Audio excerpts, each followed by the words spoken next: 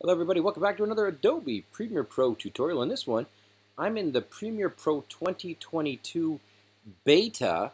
Premiere Pro 2022 just launched yesterday, but a couple features still in beta, but they're going to be in 2022 in the next few days. They're probably just working out a few of the kinks.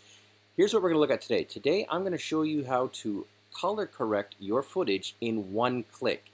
In this shot here, I've got some really bad footage, if I'm being honest here. It's very, very dull. It's washed out. There's lots of grays in it. The sky is, is, is just drab and boring. Very poorly shot. And it's deliberately chosen because I'm going to show you how to color correct it in one click. First step here, if you're following along, I'm going to left click on the footage. And then I'm going to go and move from the standard workspace. So you're in editing in all likelihood. And I'm going to move to the color workspace. Now, depending on what version you have and what your setup is looks like, you might see at the top here, you know, uh, those workspaces are up at the top here. Just make sure that you select the color correction um, or the color correct or the color workspace, pardon me. But now we're going to do some corrections. Here's what you need to know.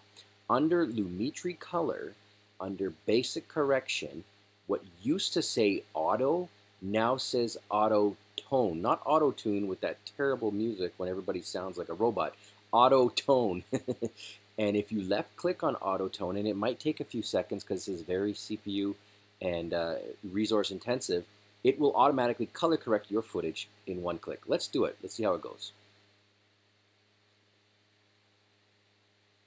One click. Like I said, this is a completely different looking shot, and that was one click. Not only that, it allows you a great place to go ahead and start making some changes. So if this isn't exactly what you want, maybe you want, you know, maybe you want, uh, I don't know, maybe you want it to be a little less saturated. It's too green for you, for example.